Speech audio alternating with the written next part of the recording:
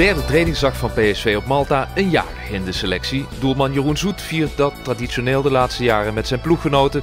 De keeper wordt vandaag 25 jaar dus ook namens ons van harte gefeliciteerd. Hij kreeg gisteren overigens twee treffers om de oren. De laatste kwam op naam van Hibernians invaller Silva, die Zoet in de slotseconde kansloos liet en zijn ploeg daarmee de overwinning bezorgde. Ondanks die nederlaag meldde Jeffrey Bruma op zijn Instagram-account dat hij vooral blij was met zijn eerste speelminuten in het nieuwe jaar. Op de Maltese websites ging het natuurlijk voornamelijk over de overwinning van Hibernians. En dan nog een nieuwe twitteraar, Florian Jozefzoon, is vanaf nu te volgen via @fjozefzoon.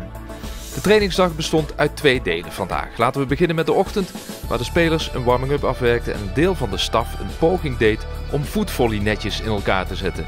Gelukkig zijn de beelden er nog en werd er smakelijk om gelachen. Kijk zo,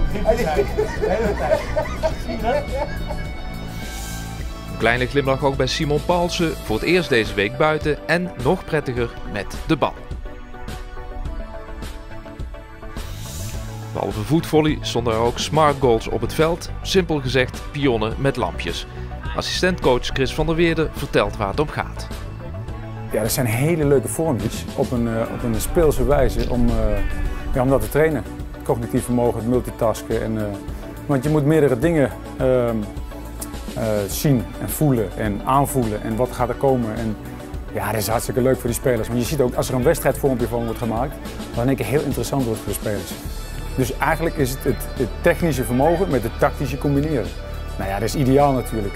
Als je ziet je technische handeling waar je een bal neer moet leggen en met gevoel welke snelheid je een bal mee moet geven. En inderdaad, hoe hard speel je hem in, omdat je nadat je door een poortje hebt gescoord, zeg maar, direct een derde man moet bereiken. Dus dat geeft weer dat je overzicht moet hebben. Ja, dat is, dat is, daar zit alles in, zeg maar, voor een speler. En omdat de voetvolley netjes uiteindelijk bleven staan, leverde ook dat leuke plaatjes op.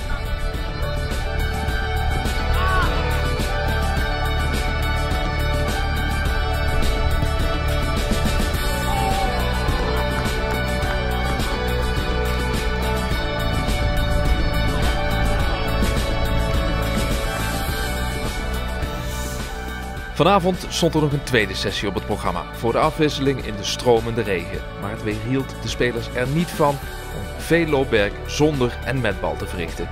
Tot zover dag 3 van PSV op Malta. Morgen zijn we er weer.